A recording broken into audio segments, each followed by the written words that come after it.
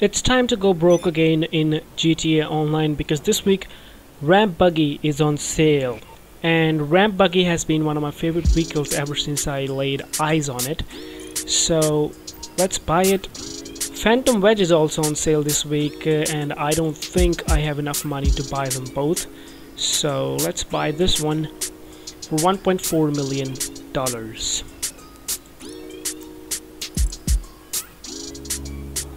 It will be delivered in my warehouse garage. Alright, so it is delivered. Let's go and check it out. This is my warehouse. And this is the underground garage. And there it is, my ramp buggy.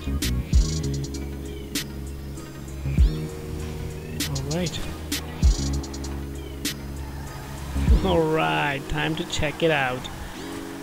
Okay, it's slippery. It's very slippery. Maybe because it's raining or... I don't know why. So let's go ahead and send some vehicles flying. Let's start with this one. Ooh! this is funny. Traffic isn't a thing from now on.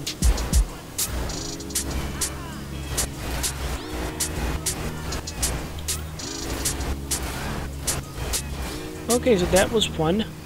Now let's upgrade it and see what improvements we can make. I hope I have enough money to buy the basic upgrades.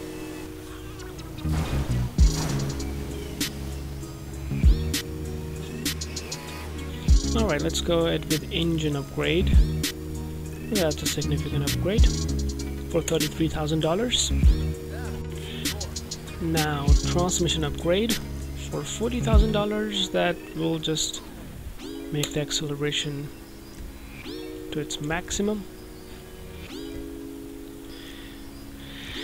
Turbo. I don't think it can get any quicker even with the turbo, but let's just buy the turbo as well. Alright, what else? We need brakes, of course. For $35,000. That's but that's not a huge upgrade. What else? There's not even a lot of items here. And I don't think I wanna mess with the tires but let's just buy bulletproof tires. Alright, so basically it's it should be a little bit faster.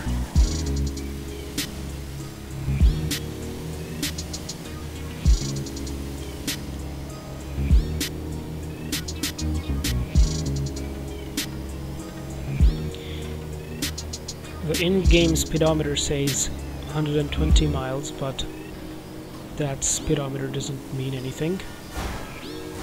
Okay, yeah, it's it's it is a little bit quicker. And it feels a little bit more fun to send things flying.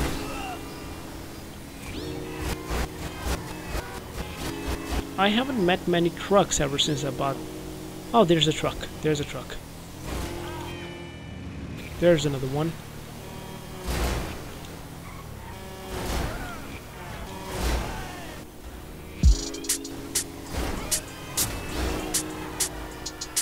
That is good.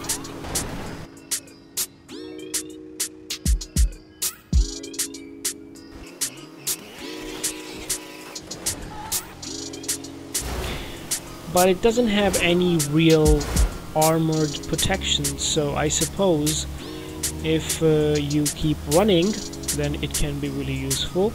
But if you stop, then you have to face the bullets. There's no protection for that available in this vehicle. So it's really useful for this. And uh, otherwise, there is some VIP work available for this vehicle, but for that you need some associates. You cannot do that job alone. And other than that, if you just want to keep running around the town, then it gets a little bit boring eventually. So if you have a lot of money, I would suggest you buy this car. It's really fun. But of course I got it at a discount. Oh, that was fun. And uh, feels good, but after all, I'm gonna have to make all that money again. But then again, you don't get this type of discounts every week, so it's a must-have if it's discounted.